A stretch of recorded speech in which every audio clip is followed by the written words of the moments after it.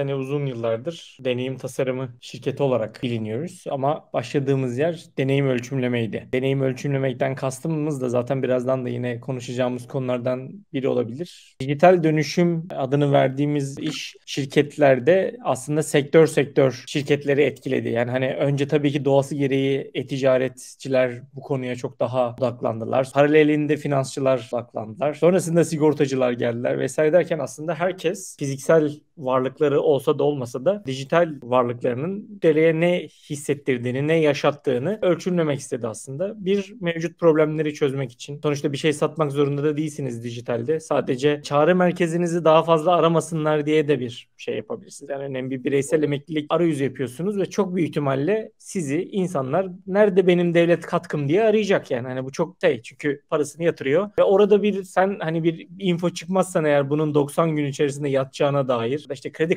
kartından ödediğinde 120 günde yatacağına dair bir info çıkmazsan e ben onu çağrı merkezini arıyorum. Senin kaynaklarını bana çok basit bir şekilde gösterebileceğim bir bilgi nedeniyle tüketiyorum. Sadece e-ticaret sitesi yani bir şey satan insanlar için değil aslında dijitalden servis sunan herkes için şu körlüğü engellemeye çalıştı UserSpot. Bizim de kendimiz içinde yaşadığımız bir körlük bu. Gündelik operasyonların içerisine girmeye başladığın anda temel odağın o operasyonun devamı oluyor. Zaten sen senin odağın olmasa bile operasyonlar o kadar oluyor ki şimdi mesela bir e-ticaret müdürüyle konuşuyor olsak bize evet. bin bir tane şey anlatacak. Yani işte oradan mal geldi, depoda bir sıkıntı oldu, şu oldu, bu oldu vesaire. Çok farklı bir günü var bu arkadaşımızın. Ama o gün içerisinde müşteri adını verdiğimiz kişi ya da müşteri adayı adını verdiğimiz kişi çok o günün içerisine dahil olamayabiliyor. Yani şöyle dahil olabiliyor. Ben ürün aldım gelmedi Allah kahretsin sizi şeklinde mutsuz bir müşteri deneyim olarak dahil olabiliyor ama ya bugün mesela gerçi Hani ufak bir ilk reklamı ol, olmasını da istemem ama biz bugün çalışmıyoruz mesela Murat. Biz Değil haftada dört gün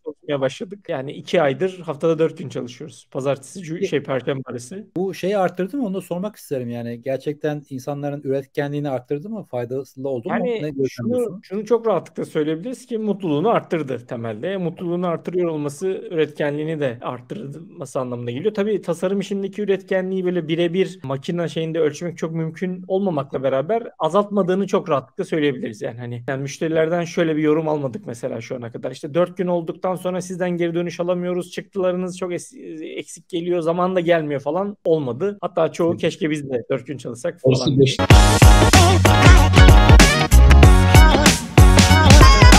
gazetelerin böyle hani şeyde rafta dururken ki evet. ana manşetlerin olduğu yer Fold adını verdiğimiz bir bölümdü. Web evet. sayfalarında da onun çok kritik olduğunu bir müddet söyledik biz de evet ama yani hani şu an mobil deneyimlerle beraber şu an hani mesela mikro video e, platform herhangi birini kullanıyorsanız ben mesela TikTok tüketicisiyim diyeyim. Buradaki yani dinleyen arkadaşlarımıza da mutlaka tüketicilerini anlamak istiyorlarsa, e, trendleri takip etmek istiyorlarsa TikTok kullanmalarını tavsiye ediyorum kendilerinin. Daha geniş bir kitle bir yandan orada. Bir yandan da harika bir recommendation engine'i var. Yani hani MIT'nin teknoloji listesinde 2021 yılında ikinci sıradaydı. TikTok'un algoritması. Birinci sırada da mRNA aşısı vardı yani hani düşün.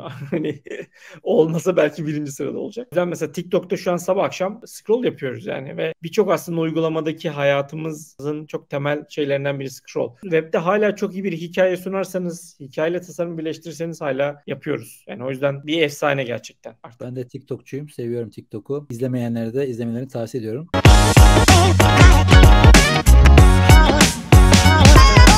Yani genelde onu pazarlama otomasyon aracının ürün customer success kişileriyle çözüyorlar gibi. Yani hani bize biz o işte banner kısmını tasarlıyoruz da banner sıralamasını da bir şey yapıyor. İşte bir pop-up versiyonu tasarlıyoruz ki pop-up da kötü bir deneyim ama ya da işte bir yerden çıkan kulakçı vesaire biz tasarlıyoruz ama sonrasında benim bugüne kadar gördüğüm o şirketler customer success konusunda o kadar iyiler ki bize şey isteği geldiğini hatırlamıyorum şu ana kadar. Yani işte atıyorum X'te kullanmak için, Y'de kullanmak için bir kulakçıya ihtiyacımız var kısmını genelde gelmiyor. Gerçekten onlar hallediyorlar ama bu da bir şeyin bir parçası yani. Bir deneyimin bir parçası. Senin üçüncü ziyaretinde ana sayfanın aynı şekilde değil de, de tamamı değişmesin ama bir parçasında bir farklılık olsun önerisi ve bunun hayata geçirilmesine çok olanak sağlıyor pazarlama otomasyon araçları. Bize daha çok aslında otomasyon araçlarının arayüzleriyle alakalı istek geliyor. Yani bunun gerçekten kullanıcının çok rahat bir şekilde kullanabileceği, gerçekten bize hiç ihtiyaç duymadan kendini self servis kullanabileceği bir hale nasıl çevirebiliriz de alakalı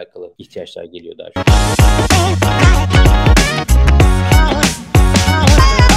Yani bir trendin trend olduğunu nasıl anlıyorsak aslında. Şimdi mesela Glimpse diye bir site var. Meet Glimpse. Ve Tamam. diyor ki bu, bu site diyor ki ben yaklaşık 4 yıl önce air fryer'ların aramalarının çok arttığını biliyordum. Yani bundan 3,5 yıl önce air fryer'ların patlayacağını biliyor olsaydınız ne yapardınız aslında? Ya da bundan işte yine 4 yıl önce yulaf sütünün aramasının ciddi bir şekilde artacağını. Bu site bunu ölçümlüyor. Şimdi bu sitenin ölçtüğü şey şu. Çok arananlar değil. Araması eskiden daha fazla artanlar. Şimdi bunun tabii ki tasarımda birebir karşılığı yok.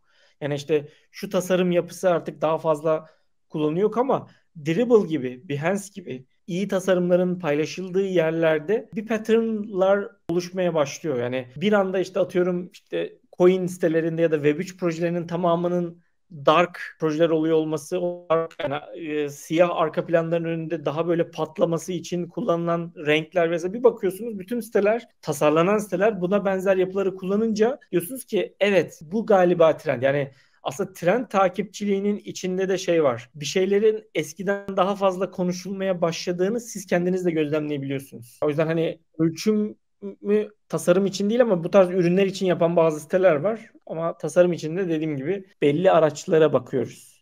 Yani bir de şey var belki şey söyleyebiliriz. Hani tasarım tarafında Google gibi bu trendsetter şirketler var. Yani onların yarattığı aslında tasarımlar bir süre sonra trend oluyor zaten. Veya bir de Instagram benzeri çok early adapter'lar var. Onlar bir şey adapt ediyorsa aslında onun trend olma olasılığının çok yüksek olduğunu tahmin edebiliyoruz.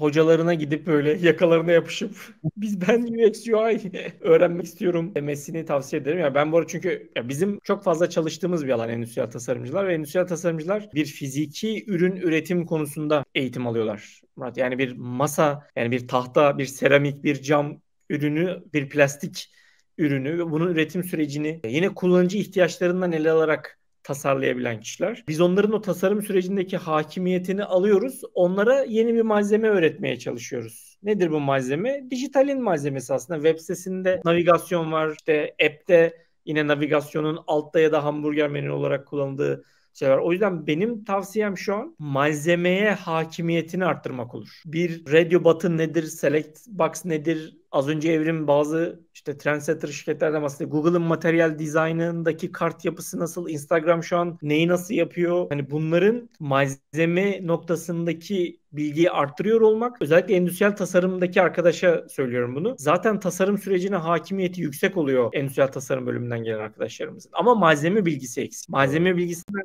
burada aynısı psikoloji ve sosyoloji bölümünden, bölümünden mezun arkadaşlarımız için de geçerli. Onlar da mesela araştırma, UX araştırma bölümünde çalışıyorlar çok aktif bir şekilde. Ama onlarda da malzeme kısmı eksik oluyor. Yani bir web sayfası nasıl çalışır, bir app nasıl çalışır, hibrit app nedir, native app nedir? Yani bunları böyle %100 bilsinler demi demiyorum ama nasıl bir seramiğin hangi sıcaklıkta nasıl vereceğini bilmeleri gerekiyorsa seramikle uğraşan kişinin ya da tahtanın nasıl form aldığını bilmesi gerekiyorsa dijitalin de malzemesini bilmesi gerekiyor arkadaşlarımız.